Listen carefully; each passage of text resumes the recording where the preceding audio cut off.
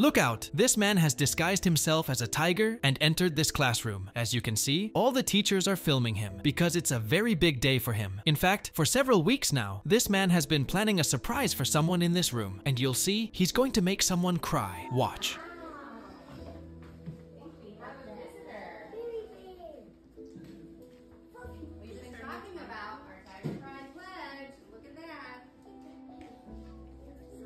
He walks over and starts waving at someone. He gets down on one knee and look, he's going to take off his mask.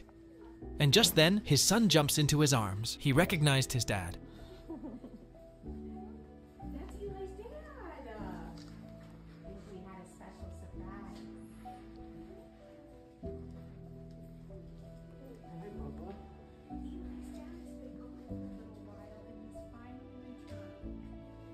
And he hasn't seen him for several months because he's in the army. Wonderful. If you'd like to have the same daddy, subscribe.